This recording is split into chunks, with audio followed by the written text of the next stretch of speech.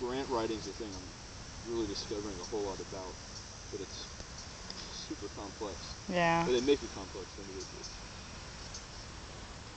There you go. Setup looks fantastic. Nice, Alexander. Yeah. Solid and straighter. Awesome. Good job. So really, as far as setup wise, we got you lined up left parallel with your body.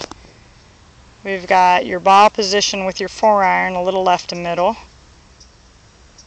We've got a little less knee bend, so you're kind of a little less squatty. That'll help you from shifting to the right too much. And then we got your right hand just a tad on top. Does that kind of cover it? Yes. So much better. I know I had a little bit of a tail to the right, but. But that at least you know where it's going, right? Yeah, I can deal with that. Good. You know, because ideally I want to have obviously both. Oh yeah. have, you know, whenever I need to, I have the- Yeah. Well, it's tough. I mean, if you haven't been out here, I mean, especially if you haven't been out on a golf course and you I'm know? so I want to come. yeah. No, that's great. Setup looks so much better.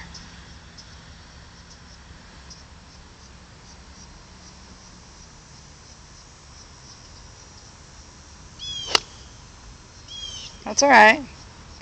That one on your takeaway, you were actually a little bit out, so it just kind of caused a little bit too too too much out to end on the downswing. Okay, but you haven't done that. That was the first one I've seen you do. So.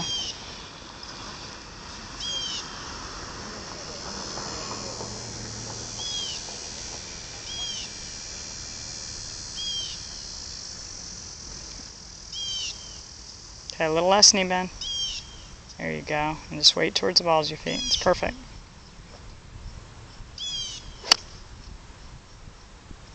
How'd that feel? It's been okay. I don't feel very stable because I